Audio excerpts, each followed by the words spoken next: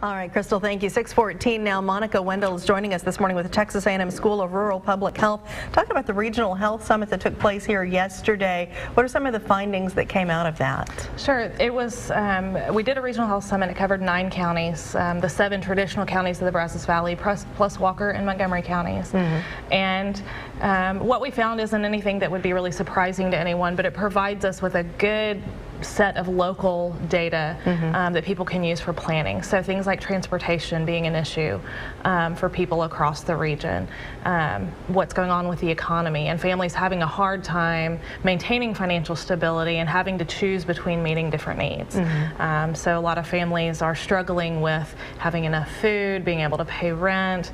Um, if you lump that on top of some of the other issues, transportation issues, maybe a hard time keeping a job to be able to do those things. Right. We also found um, for the first time since 2002 that the rate of overweight and obesity in our region is leveling off, okay. um, which had been pretty steadily climbing. Unfortunately, it's leveled off really high.